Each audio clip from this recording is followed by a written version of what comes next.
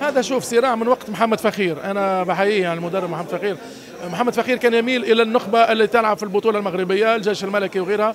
واللاعبين اللي يأتوا من أوروبا كان في يعني تكتل كذلك على حساب المحليين. وخلق جو من الصراع داخل المنتخب يتواصل ربما إلى حد الآن. أنا الأمانة لا أعرف آخر الكواليس في المنتخب المغربي. لكن لابد هذه مسؤولية الاتحاد المغربي لابد من إيجاد الحلول في تناغم ما بين المحليين والقادمين من أوروبا.